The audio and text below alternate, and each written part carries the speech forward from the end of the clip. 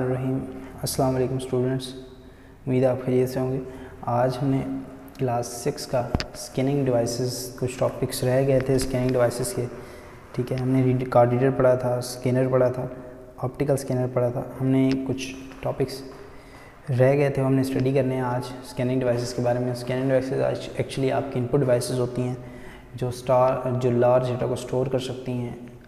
Images जब जब images के ऊपर उनको स्क्रॉल किया जाता है इमेज के ऊपर उनको एक बार मूव करवाया जाता है। यानी डेफिनेशन आप देख सकते हैं store large quantity of data in form of images when they are run across the surface of the data in data जो होता है फ़र्ज़ करें किसी पेज के ऊपर है तो उस पेज को आप अगर किसी भी स्कैनर डिवाइस के के सामने रखेंगे, उसके ऊपर मूव उसके सामने मूव करवाएँगे, उसके सामने दिखाएँगे तो आपका जो डेटा है, उससे वो मूव करके डिजिटल फॉर्म में वो आपका कन्वर्ट हो जाएगा। कुछ एग्जांपल्स रह गई थी, वो थी quick response code reader bar code reader and fingerprint reader हम इनको थॉरली थोड़ा स्टडी देख लेते हैं, कैसे होती हैं ये चीज़ें क्या क्या होती हैं। फ़र्स्ट ऑफ़ ऑल है bar code reader bar code क्या होता है? हमें बार कोड रीडर पढ़ने से पहले हमें पता होना चाहिए बार कोड है क्या। Series of black and white lines of different thicknesses different मोटाई की आपकी लाइनें सामने नज़र आ रही हैं, आपको लाइट वाइट और ब्लैक तो इनके कुछ नीचे नंबर भी लिखा हुआ है। ये एक एक स्पेसिफिक डिजिट होता है चेक डिजिट इसको हम कह सकते हैं। तो ये चेक डिजिट एक्चुअली बता रहा होता है कि इसकी इसकी, इसके अंदर, इसकी अगर हम बार कोड को स्टडी कर सके रीड कर सके तो ठीक है। अगर हमें नहीं पता तो हम हम ये जो आपका नंबर पड़ा है, इसके साथ परफेक्ट उसकी जो प्रोडक्ट की नेम है आइडेंटिफिकेशन है हम वो फाइंड कर सकते हैं। ये एक्चुअली इसका काम क्या होता है? It enables central computer identify an item with help of bar code number barcode number the product's name, description and latest price are stored on the computer. जो आपकी प्रोडक्ट है, इसकी नेम इसकी डिस्क्रिप्शन ये कहाँ से बनी है, कहाँ से आई है, इसके अंदर क्या क्या मौजूद है, ठीक है? लेटेस्ट प्राइस इसकी क्या है? तो सारा का सारा उस कंप्यूटर के अंदर स्टोर है, जहाँ से ये चीज़ आई है, जो उनका सर्वर था, ठीक है? वहाँ पर ये चीज़ स्टोर है। जब आप बार कोड को स्कैन करने के लिए कोई डिवाइस यूज़ करते हो तो हम उसको बार कोड रीडर कहते हैं। इसी बार कोड को स्कैन करोगे तो आपको यही आपके इन्फॉर्मेशन जो आपके सामने नज़र आ जाएगी। जिसका नाम, जिसमें से प्रोडक्ट्स नेम है डिस्क्रिप्शन है लेटेस्ट प्राइस है तो ये सारा का सारा आपके सामने आएगा। ये एक्चुअली हम it is identify the product its country region and manufacture जो हम कह रहे थे कि मैनुफैक्चर का पता चल जाएगा कहाँ से बनी है, किस किस किस कंट्री की है, ये क्या है इस प्रोडक्ट के अंदर। ठीक है? Check digit is present to make sure the reading of bar code is correct हम ये चेक नंबर मैं कह रहा था कि नीचे होता है, ये हम टाइप करके डब्ल्यू डब्ल्यू वेबसाइट के ऊपर हम फाइंड कर सकते हैं कि ये जो आपकी प्रोडक्ट है एक्चुअली इसके अंदर वाकई जो बार कोड्स हमें रीडिंग मिली थी, वो करेक्ट है या उसमें कोई फॉल्स हैं, कोई प्रॉब्लम्स हैं? P U S terminal actually इसका वर्किंग बहुत हाई होता है। हम आप देखा होगा प्रोडक्ट्स आप लेते हो किसी भी शॉप से तो उसके नीचे बार कोड्स लगे होते हैं, कभी आप जज करें तो बार कोड्स लगे होते हैं। उन बार कोड्स को कोई भी मॉल है या कोई भी शॉप है अगर उसको हम पी टर्मिनल के साथ उस शॉप को चलाना शुरू कर दें, यानी पॉइंट ऑफ़ सेल टर्मिनल जहाँ पर आपको शॉप के अंदर जब आप प्राइस कोई चीज़ लेते हो तो वो उसको अपने स्कैनर के ऊपर लगाता है, फिर वो प्राइस कंडक्ट हो जाती है, इकट्ठी हो जाती है।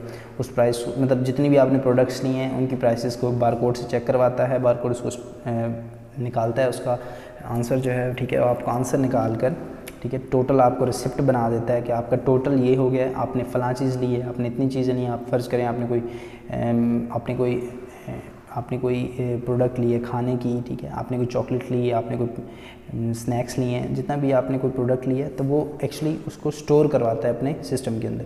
स्टोर कैसे करवाता है? पॉइंट सेल टर्मिनल होता है is electronic device use to process the card payment at retail location retail location के ऊपर आप देख रहे हो कार्ड प्रोसेसर पड़े होते हैं, ठीक है?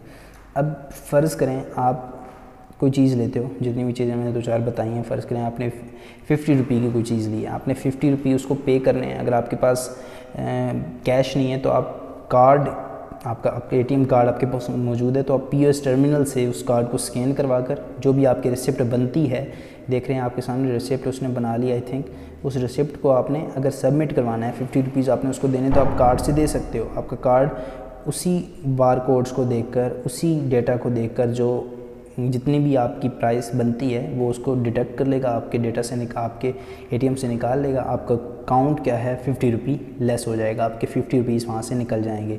और सारा का सारा जो प्रोसेस हो रहा है पी एस टर्मिनल पे हो रहा होता है। Bar code reader is connected to each P S terminal as reader is run across the bar code the details are send to the central computer जब रीडर जब आपका बार कोड की data आपके स्कैन करता है तो आपके computer के अंदर वो डेटा स्टोर हो जाता है। तो कंप्यूटर है, फिर क्या करता है? Matches the bar code with the product and price information and send it to P S terminal तो फिर वापस क्या है? पी एस टर्मिनल के साथ इन्फॉर्मेशन चली जाती है। जो डिटेल होती है स्क्रीन के ऊपर नज़र आ जाती है पी ओ एस एल के पी ओ एस के, ठीक है? प्रिंटेड ऑन रिसिप्ट एक रिसिप्ट निकल आती है and record in the central computer जो सेंट्रल कंप्यूटर के ऊपर रिकॉर्ड हो जाती है। यानी एक बहुत अच्छा सिस्टम है। अगर आप इसको मॉल्स के अंदर या शॉप्स के अंदर यूज़ करते हो तो ये आपकी प्रोडक्ट्स बेचने में आपके जो टेक्नोलॉजी का सिस्टम है, उसको इम्प्रूव करने में आपकी मदद करेगा। उसके बाद है quick response code reader quick response code reader थोड़ा सा बार कोड रीडर से एक नई टेक्नोलॉजी आई है, ठीक है? ये उससे ज़्यादा जल्दी काम करने वाला है और ज़्यादा डेटा स्टोर करने के लिए इस्तेमाल होता है। उसमें थोड़ा सा डेटा स्टोर होता है प्रोडक्ट का name product bar code reader के अंदर प्रोडक्ट का नेम कहाँ से बनी है, ठीक है? उसके अंदर क्या क्या मौजूद है ठीक है, इसकी प्राइस क्या है? लेकिन क्यू आर कोड में ज़्यादा डेटा स्टोर होता है आपकी बार कोड से। The Q R code consist of black dots and place placed with in square box black dots आप देख रहे हैं बॉक्सेस बने हुए हैं छोटे छोटे तो एक बॉक्स एक स्केयर बॉक्स के अंदर ये सारा कुछ इकट्ठा हो चुका है। तो ये आपका क्यू आर कोड है आपके सामने बना हुआ। तो क्यू आर कोड को स्कैन करने के लिए कोई स्कैनर डिवाइस होगी, जिसको हम क्यू आर कोड डिवाइस कह रहे हैं रीडर कह रहे हैं this can be read by sim by smartphones that have the quick Q R code application install कुछ क्यू आर कोड रीडर जो हैं मोबाइल्स में ज़्यादातर मौजूद हैं, उनके अंदर एप्लीकेशन इंस्टॉल होते हैं। जैसे आप देख रहे हैं फ़ोन के अंदर कोई एप्लीकेशन थी इंस्टॉल थी आपने जनरली आपने जैपे यूज़ किया होगा। कोई भी आजकल आपका कोई स्मार्टफ़ोन लें तो उसके अंदर जैपे मौजूद होता है। तो आप जब कनेक्ट कर रहे हो तो आपको स्कैन करना पड़ता है, आपको क्यू आर कोड तो एक्चुअली वो डेटा मांग रहा होता है सिस्टम का, दूसरे का, दूसरे के से, ठीक है? और वो कनेक्शन कंप्लीट हो जाता है। फिंगरप्रिंट रीडर होता है, आपके स्कूल्स में, आपके ऑफ़िस में यूज़ होता है ये। इसका काम क्या होता है? ये आपका सेंट्रल कंप्यूटर के साथ, यानी आपका जो ऑफ़िस का, या स्कूल का जो सिस्टम है, उसके साथ ये कनेक्टेड होता है। आप एक्चुअली फ़र्स्ट टाइम कोई भी जो लोग हैं, उस डिपार्टमेंट में या फिर स्कूल में स्टूडेंट्स हैं, वो फ़र्स्ट टाइम उस अपने फिंगरप्रिंट्स को वहाँ पर स्टोर करवाते हैं और फिर नेक्स्ट फर्दर जब भी उसके ऊपर फिंगर लगाया जाता है तो उनकी प्रेजेंस दिखाई जाती है। अगर हम किसी भी स्कूल में किसी टीचर की प्रेजेंस देखना चाहते हैं स्टूडेंट्स की प्रेजेंस देखना चाह रहे हैं तो डेली बेसिस के ऊपर आपको ये नहीं है कि कोई रजिस्टर लेके जाना पड़ेगा बस टीचर आएँगे या फिर स्टूडेंट आएगा वहाँ पर फिंगर रखेगा और वो डिटेक्ट हो जाएगी कि जी ये स्टूडेंट इस टाइम स्कूल पहुँचा था और वापसी पर भी अगर फिंगर लगाएँगे तो वो पता चल जाएगा कि इस टाइम वहाँ से एग्ज़िट हुआ है टीचर या फिर स्टूडेंट का When a person places a finger on the reader, the fingerprint scan and then send to the computer. The computer checks if its finger matches any of those stored. यानी stored होना चाहिए data already computer के ऊपर first time यानी हमें store करना पड़ेगा then हम फर्दर इसको यूज़ कर सकते हैं। आपने मोबाइल्स में भी आजकल देखा होगा कि फिंगरप्रिंट्स मोबाइल्स आ गए हैं फिंगरप्रिंट रीडर होते हैं तो आपकी सिक्योरिटी को हाईलाइट करने के लिए, आपकी सिक्योरिटी को हाईफाई करने के लिए आप फिंगर यूज़ करते हो, आपका मोबाइल ओपन हो जाता है, आप फिंगर लगाते हो, आपका मोबाइल ऑफ़ हो जाता है। ये बहुत ही न्यू टेक्नोलॉजी आजकल हमारे कह सकते हैं कि टेक्नोलॉजी मोबाइल्स में भी आ चुकी है, जो फर्दर कहीं पर नॉर्मल किसी भी रजिस्ट किसी भी स्कूल में हाज़िरी या फिर किसी भी स्कूल या डिपार्टमेंट में प्रेजेंट्स के लिए यूज़ होते थे। आज हमने स्कैनिंग डिवाइसेस के remaining topics Q R code bar codes and fingerprint reader के बारे में पढ़ा। कुछ क्वेश्चंस हैं आपके लिए, इनको आपने देखना है, उनको आपने सर्च आउट करना है, उनके क्वेश्चन इन क्वेश्चन के आंसर आपने नोटबुक्स के ऊपर राइट करने हैं। नेक्स्ट लेक्चर तक के लिए अल्लाह हाफिज़ टेक केयर